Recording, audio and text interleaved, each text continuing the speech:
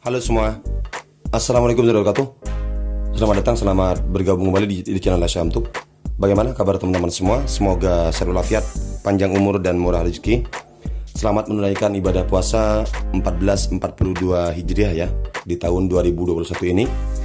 Kali ini kita akan belajar bareng-bareng atau kita membahas tentang perlengkapan apa atau network tool apa saja yang harus kita persiapkan seandainya kita ingin belajar jaringan atau ingin menjadi seorang pembisnis RT RWNet ataupun yang lain minimal kita perlengkapan sederhana harus memiliki seperti ini ya teman-teman ya.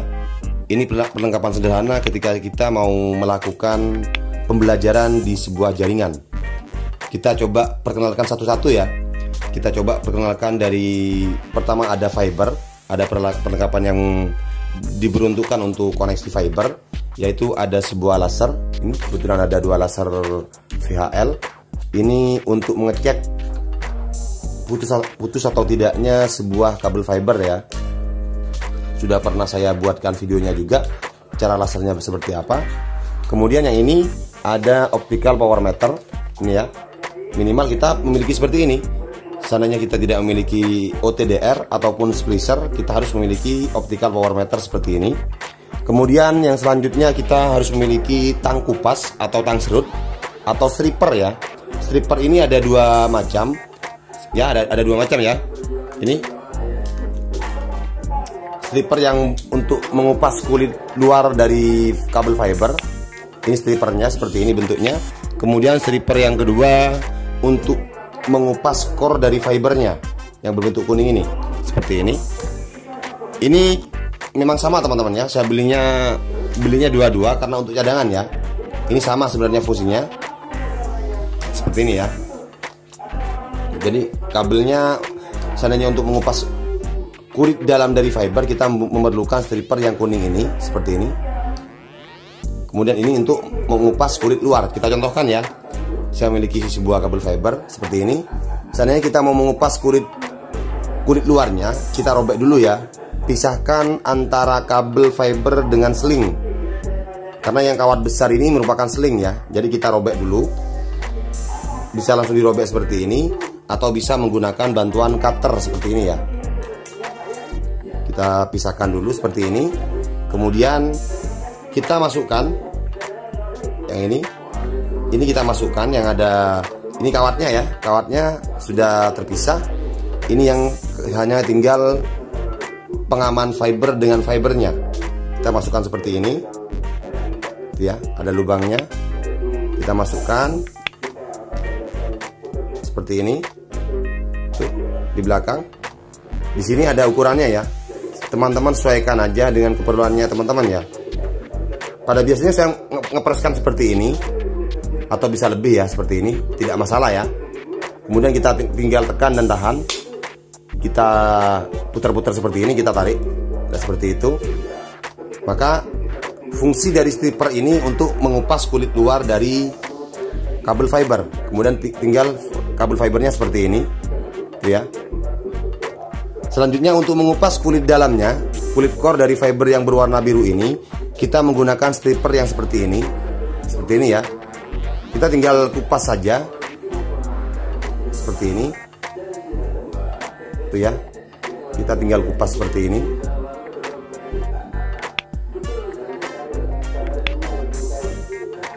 Seperti itu ya. Nah kita tinggal mengupasnya. Sebenarnya tidak terlalu sulit teman-teman ya. Asalkan kita laten ya. Oke. Ini untuk network tool dari sebuah fiber seperti itu network yang sederhana teman-teman ya kemudian yang selanjutnya ada yang namanya clever yang ini ini namanya clever. Bentuknya seperti ini. Seperti ini ya. Tujuannya untuk apa? Untuk memotong core dari fiber. Seandainya kita sudah mengupas dan mengupas kulit fiber kemudian ingin memotong dari core dari fiber ini seperti ini, maka kita memerlukan yang namanya clever seperti ini. Karena kalau dipotong menggunakan cutter, clever itu tidak bisa teman-teman ya, karena pastinya mencang-mencong atau koneksinya akan tidak maksimal karena ini kaca teman-teman ya Jadi pemotongnya juga pastinya alat pemotongnya juga memotong kaca. Itu teman-teman ya. Pemotongnya juga pemotong kaca teman-teman ya. Ini namanya clever. Jadi kita sebagai pengusaha jaringan atau ingin belajar jaringan minimal memiliki alat seperti ini. Oke, untuk harganya teman-teman bisa cek di toko online ya. Satu set itu sekitar berapa? Ada yang ratusan ribu, ada sampai ada yang jutaan bahkan ada yang puluhan juta ya kalau yang bagus ya. Seperti itu. Kemudian yang terakhir untuk yang fiber kita ada yang namanya fast connector ya, itu ya sananya ada kabel putus jadi kita harus sediakan fast connector seperti ini kemudian jangan lupa juga ada yang namanya adapter adapter itu konektor untuk menyambungkan fiber. Yang seperti ini. Jadi seandainya di tengah-tengah putus kita bisa langsung soket manual kemudian kita sambungkan menggunakan adapter seperti ini teman-teman ya. Itu untuk seandainya kita menggunakan kabel fiber optik. Seandainya menggunakan kabelan yang perlu kita siapkan juga ada teman-teman ya untuk perlengkapannya. Karena kita seandainya ada gangguan koneksi di tengah-tengah atau di tengah malam pastinya pastinya kita harus apa ya?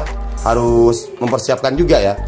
Kalau bagi pengguna kabelan, maka yang perlu kita siapkan sebuah crimping tool seperti ini. Saya sampai saya sediakan tiga crimping ya. Jadi sebagai cadangan karena kenapa? Ini namanya crimping tool teman-teman ya. Untuk memasang soket dari LAN atau RG45. Jadi bagi teman-teman yang tidak tahu seperti apa RG45 itu seperti ini. Sebelum jadi sebuah apa ya? Sebelum nempel di kabelan seperti ini RG45-nya. Seperti ini ya. Jadi ini harus kita sediakan juga karena sewaktu-waktu kita pasti memerlukan teman-teman ya. Jadi sebelum jadi seperti ini, kalau ini kan pabrikan ya teman-teman ya. Jadi kita harus pasang sendiri teman-teman ya. Seperti itu. Jadi menggunakan namanya crimping. Ini crimping ya. Crimping tool. Jadi untuk memasang RG45 ke kabelan. Seperti itu.